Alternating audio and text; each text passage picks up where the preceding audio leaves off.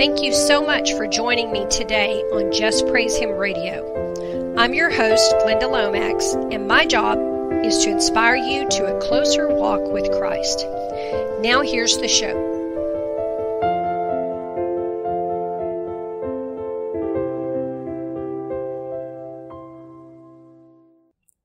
Hello, believers. Welcome to the Just Praise Him radio program. I'm your host, Glynda Lomax, and the title of my message today is Getting Through Now.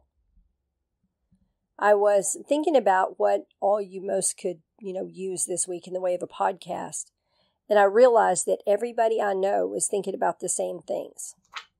We all see the handwriting on the wall and we see how everything is lining up against us as Christians, and we don't know how bad conditions are going to get before we're taken home, but we hope not bad, right?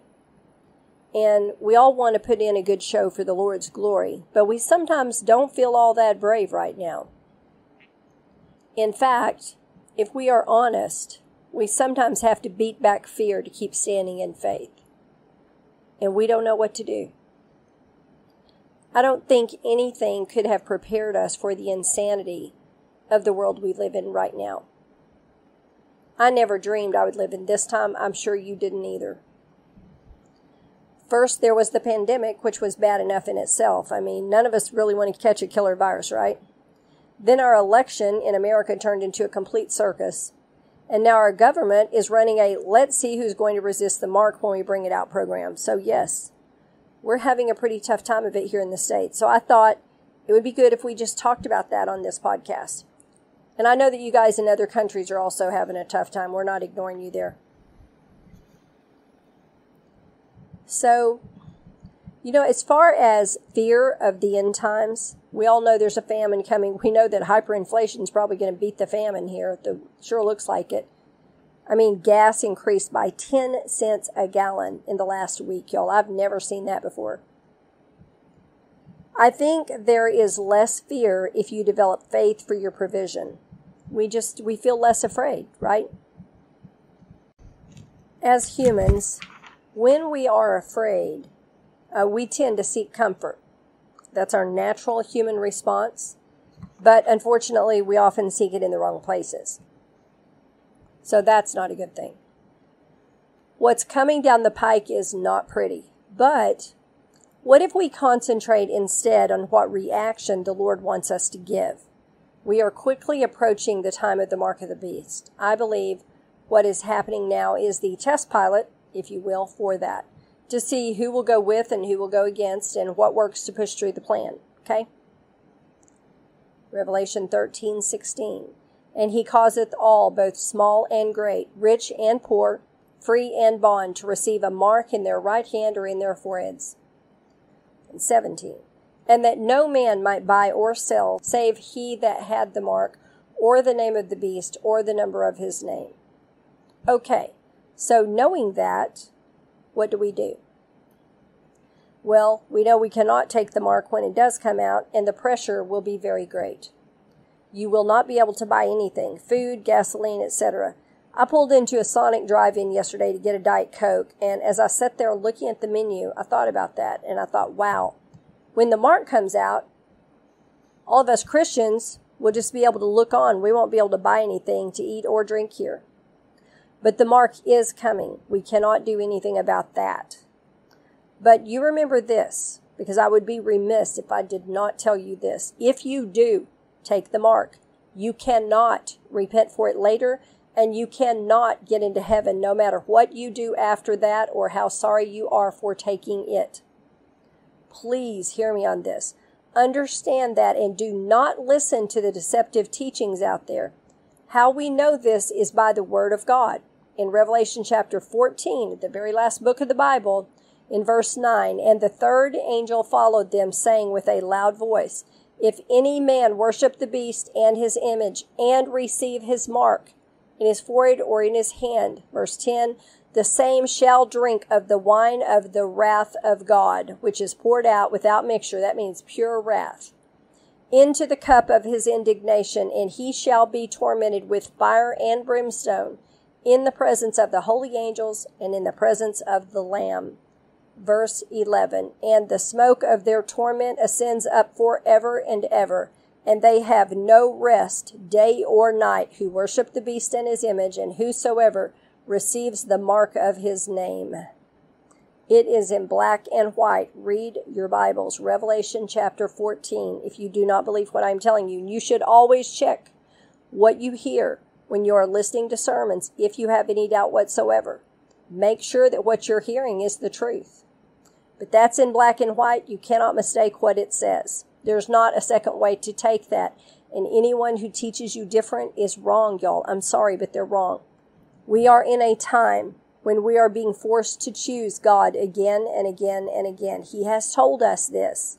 We are going to have to choose Him over and over and over. These are not going to be easy choices, but we can make them. He chose us for this time. That's how we know that. There are people who are going around saying the current shot is the mark. It cannot be the mark. Look at what the Word of God says. Go back to Revelation 14 9. And he received the mark in his forehead or in his hand. Those are not given in the forehead or the hand. The shot is not the mark. It's a precursor or conditioning for the mark, is what it is. Revelation 19:20 And the beast was taken and with him the false prophet that wrought miracles before him with which he deceived them that had received the mark of the beast and them that worshipped his image these both were cast alive into a lake of fire burning with brimstone. And you know, if you look on the internet, you will find that it takes quite a high temperature for brimstone, which is an actual stone, to catch fire. So, there are terrible events coming. There is no question about that. But, y'all, there were always terrible events coming in every age. No matter what time you lived in, terrible events came. We cannot spend all our time and energy sitting around worrying about all of that because it has to happen in order for Jesus to come back and get us. And we want him to come back and get us, right? We want to go home. I want to take all the people I love with me, but I do want to go home. What is happening now here in America, and we know in other countries y'all are going through a lot too, is less than pleasant. But we are still here. And if we are still here, then we have something to do for the kingdom of God. Let's all get our work done so we can go home and have coffee together. Okay, now, we all know there are times of lack coming. I personally have been sowing more into the kingdom with that in mind. Because let me tell you what, our mighty Father in heaven is not subject to earthly recessions. Can I just say that? He is not subject to any earthly recession or economic turn. He owns all the cattle and all the gold on a thousand hills, and we are his kids. So let's talk about what to do if we see a time of lack coming or if we find ourselves in lack. And we all need to know this watching gas prices and food prices go up almost while you're staring at the box. I saw gas prices, like I said, go up 10 cents last week. One week! I've never seen that in my whole life. So I found myself, I caught myself worrying about having enough money and I had to repent for worrying and get myself together. But y'all, it's natural when things are going up so fast. So unless you're an extremely wealthy person, if you're wealthy, I guess you don't have to worry about it. But so if you do find yourself afraid or worried, just repent and give that to the Lord, okay? But you know what? When you are faithful, God has the most amazing ways of just showing up and providing for you. Remember the widow of Zarephath? Elijah had been chillaxing at the Brook Cherith, where his accommodations included morning and evening delivery of takeout. One day, as the brook is drying up, the Lord speaks to him and tells him to head for Zarephath so he can continue to be fed. So the widow of Zarephath and her son are gathering sticks when Elijah comes riding into town. Elijah asks her for some water and some bread. So the poor widow tells him all she has is a tiny handful of meal and a couple of drops of oil and she's going to make a tiny cake share with her son as their last meal before they starve to death. And Elijah said unto her, Fear not, go and do as thou hast said, but make me thereof a little cake first, and bring it unto me, and after make for thee and for thy son. So Elijah was saying, Give me a portion of what you have saved first, and then take care of yourself and your son with what's left, and God will bless you. And then Elijah gave her a word from God.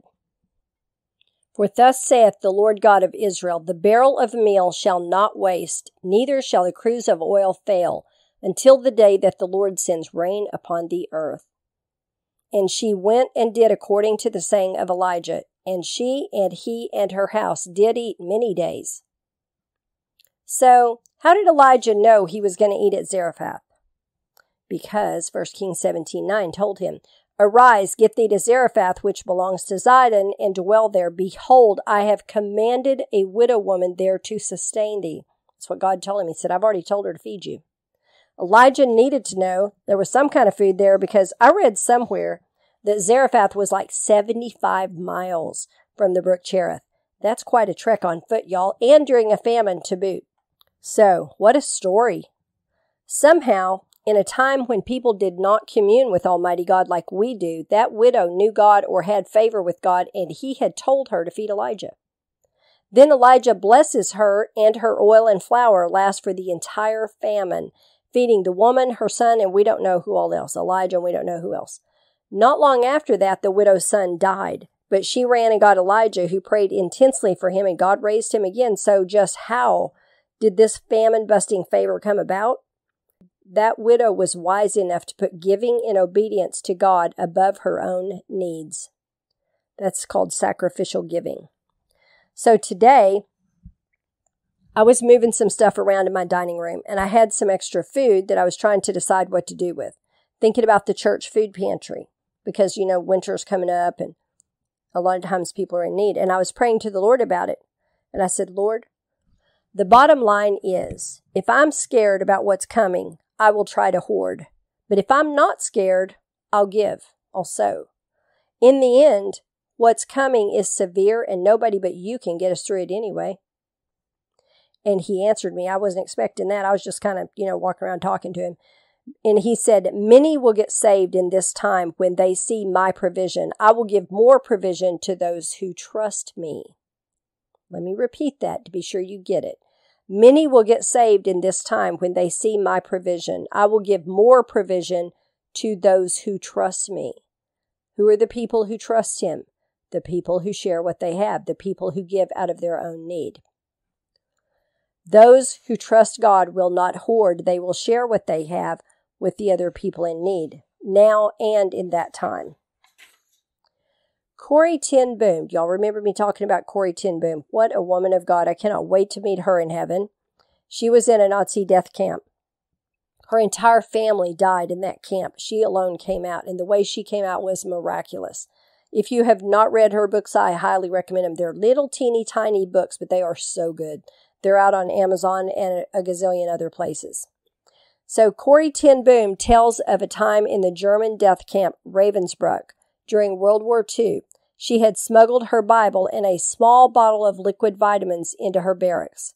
Her sister Betsie was sick and growing sicker, but she demanded that Corrie first give a dose of vitamins to all the other sick in their barracks before she would accept any. Corrie tells that a strange thing was happening. The vitamin bottle was continuing to produce drops. It scarcely seemed possible so small a bottle, so many doses a day. Now, in addition to Betsie, a dozen others on their pier were taking it. She said, My instinct was always to hoard it. Betsie was growing so very weak. But the others were ill as well. It was hard to say no to eyes that burned with fever, hands that shook with chill. I tried to save it for the very weakest, but even those soon numbered fifteen, twenty, and 25. And still, every time I tilted the little bottle, a drop appeared at the tip of the glass stopper. It just couldn't be. I held it up to the light, trying to see how much was left, but the dark brown glass was too thick to see through. There was a woman in the Bible, Betsie said, whose oil jar was never empty. She turned to it in the book of Kings, the story of the poor widow of Zarephath, who gave Elijah a room in her home. The jar of meal wasted not, neither did the cruse of oil fail, according to the works of Jehovah, which he spoke by Elijah. Well, but wonderful things happen all through the Bible. It was one thing to believe that such things were possible thousands of years ago, another to have it, have it happen now to us, this very day. And yet it happened this day and the next and the next, until an odd little group of spectators stood around watching the drops fall onto the daily rations of bread. Many nights I lay awake in the shower of straw dust from the mattress above, trying to fathom the marvel of supply lavished upon us. Maybe, I whispered to Betsie, only a molecule of two really gets through that little pinhole. And in the air it expands. I heard her soft laughter in the dark. Don't try too hard to explain it, Corrie. Just accept it as a surprise from a father who loves you. That's from Corrie ten Boom's book, The Hiding Place. Also, do y'all remember the story of the widow with two mites? My friend Dayla, who is right now writing a curriculum for a Bible study the Lord wants her to start, gave me the best version of the widow with two mites I had ever heard. She said, Those mites were her meat and her bread. What she dropped into that box was her heart. She was giving all she had to say, Thank you, God. He had sustained her. And it rang with a sound unlike the others and that was what got the attention of the king. So if you need to get the attention of the king, give from your heart. Say thank you by giving courageously, proving to him that you do believe, that you do trust him to provide for you and those you love no matter what comes.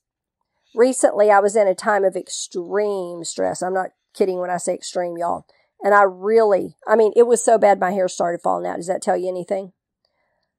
I really needed God to lighten my load. So I went out on a limb. I decided to give sacrificially because I know the power of giving, because I needed to get the attention of my king. So that week, I gave a double tithe.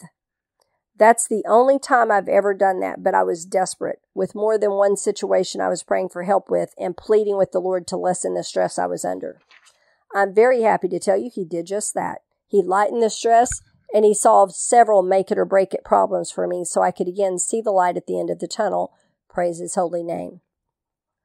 So, how can we pray now that we're staring down the barrel at the end of time? Let's keep these things in mind. God always welcomes his children to come before him and ask for what we need. Be specific. We can ask for and receive mercy for ourselves and our families in what is coming we can and should pray to be counted worthy to escape those things that are to come. Pray your loved ones will too. I pray over both my children. I pray over my grandchildren. I pray over my sister and her family. That's the only family that I have left. All my other family is deceased, but you should pray for them. Pray for them to be counted worthy to. We don't want anybody left behind in this, y'all. And we certainly do not want any of them lost where they go to hell for all eternity. We need to pray for them every day. So we can and should pray to be counted worthy to escape those things that are to come. Pray for our loved ones. In the time of Noah, Noah was allowed to take his family with him into the ark. In Lot's time, the Lord sent angels to gather up Lot and lead him and his family to safety. In our time, God is moving many to safety even now. Some of you are already in safe places. Some of you have emailed me and said, How come God's not moving me?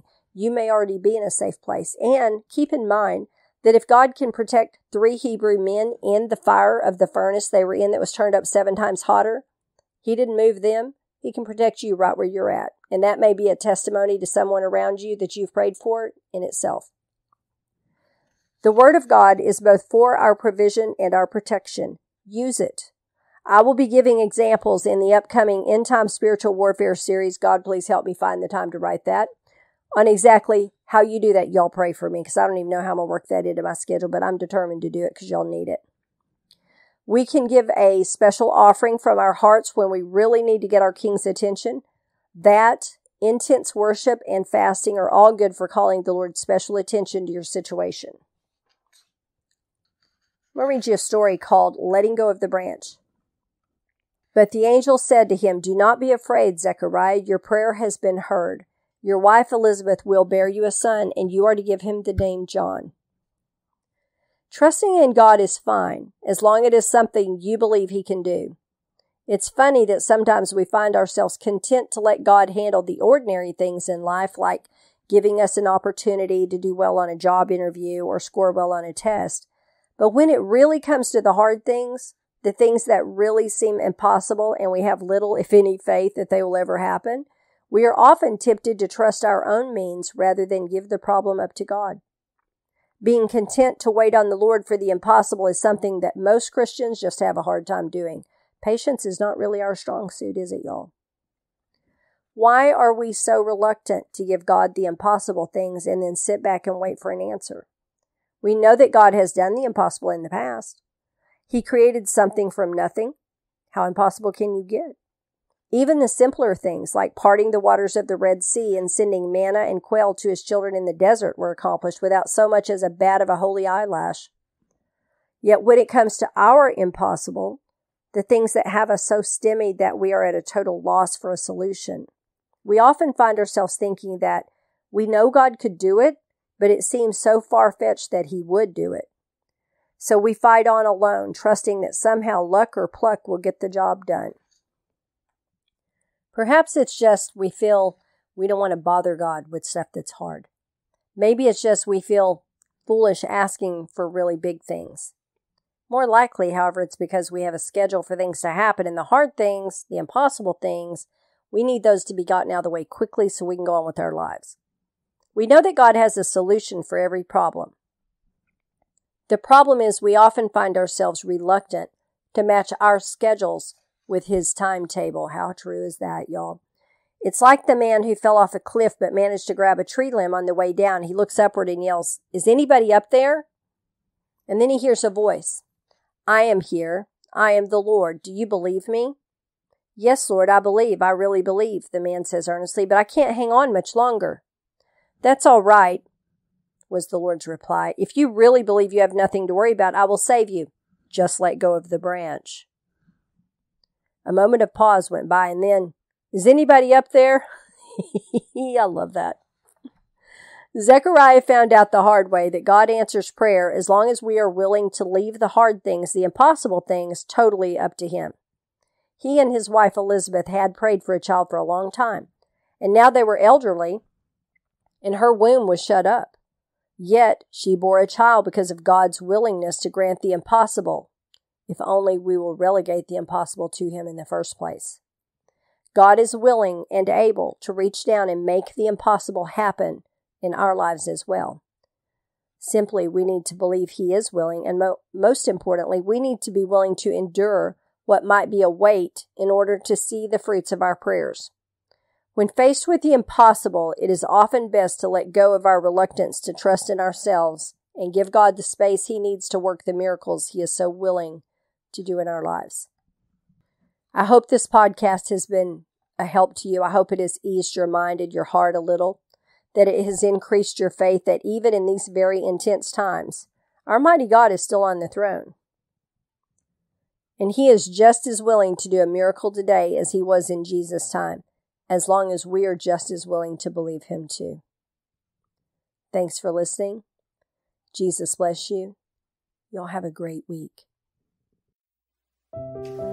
Thank you so much for tuning in today to Just Praise Him Radio. You can contact me by mail at my new address JPH Inc., Glynda Lomax, P.O. Box 60, Glencoe, Arkansas 72539, or by email at jphtoday at gmail.com. JPH is not affiliated with any nonprofit organization, church, or denomination.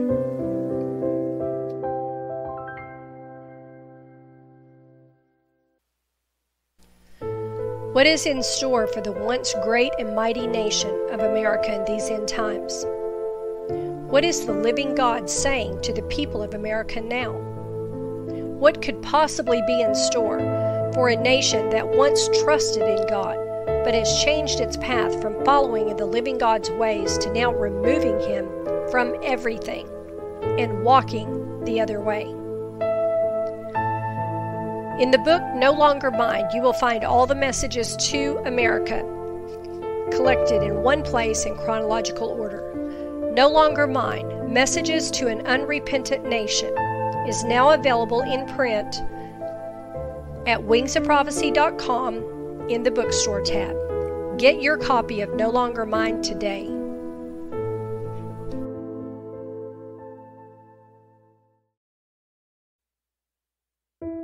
Does your life feel like it's falling apart around you? Are multiple things going wrong all at once?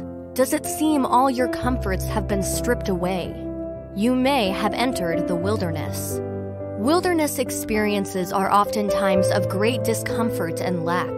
Every Christian must pass through the desert on the way to their promised land. Find out how to go from surviving to thriving by partnering with God as He leads you in the path that will strengthen your faith and prepare you to step into your destiny. The Wilderness Companion will help you find out why you have been led into the wilderness. Find out the biggest hindrances to receiving the provision you need in the wilderness.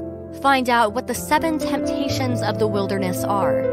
Learn how to partner with God in His purposes for you in the desert seasons. Get your copy of The Wilderness Companion today. The Wilderness Companion by Glynda Lomax on Amazon.com in print, Kindle, or audiobook.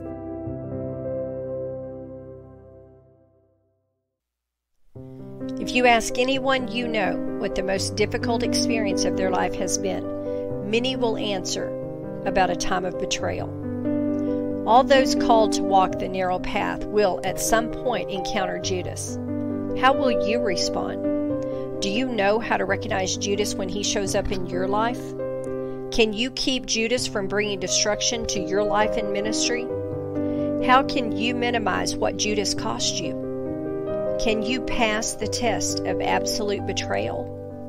Get your copy of The Judas Test, available in print and new audiobook, The Judas Test by Glynda Lomax, available now on Amazon.com sold out for 30 pieces of silver?